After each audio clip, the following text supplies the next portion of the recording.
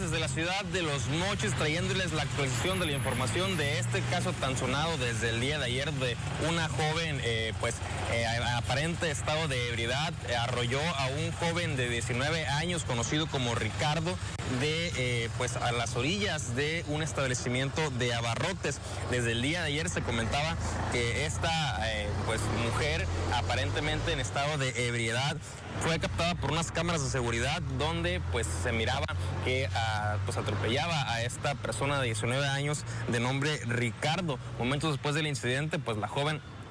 se retiró del lugar encerrándose en su domicilio para que momentos después, por el número de placas captado por las cámaras de seguridad, pues amigos y familiares de eh, la persona pues agredida se diera cita en su domicilio rodeándola, impidiendo salida,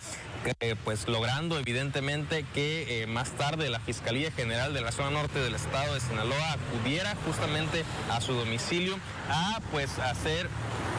resguardar el vehículo. Este un vehículo Honda de color gris fue resguardado de su domicilio para seguir esta línea de investigación. Señalan pues que el joven se encuentra en estado crítico de salud, como ya lo venimos mencionando, con lesiones en las dos piernas, parte de lesiones en el torso y una fisura en el cráneo. También se señala pues que esta línea de investigación será pues continuará. Justamente la persona pues aún no ha sido llamada a declarar se espera que por el transcurso del día de hoy pueda eh, pues esto ser eh, tomado por un juez para que dé la orden del citatorio de esta persona y estos hechos sean esclarecidos lo más pronto posible.